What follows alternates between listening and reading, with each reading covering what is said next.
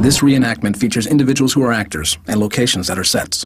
The servers depicted are intended to represent IBM S36, AS400, and other models that are precursors to today's IBM eServer iSeries. This experience is not a result that you will likely achieve, so do not expect your own experience to produce similar results under similar circumstances. Hardware and hardware shown may differ from those present at the time of the event. Do not try this at home. Every IBM server has a story. Here's just one.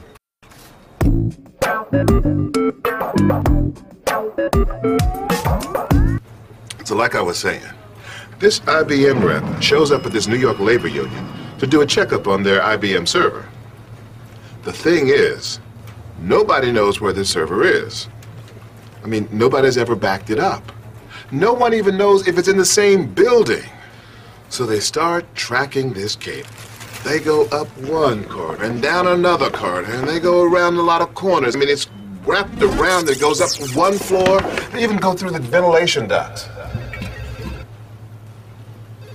Finally, the cable leads to a storage closet, two floors away. The door is locked. The secretary says, nobody's been in there in over six years. Somebody figures out that the super two buildings down might have the keys. Well, they get inside. It's like a blast furnace. It's so hot, the tech guy gets a nosebleed.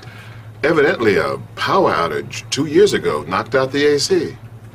But the server in that closet rebooted and got back to organizing and running that union.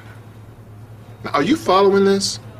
Six years, no attention, no maintenance, and a 140 degree virtual oven. And you know what the real kicker is? It really happened. Or so I've been told. The next generation IBM eServer iSeries. Resilient, flexible, and incredibly reliable.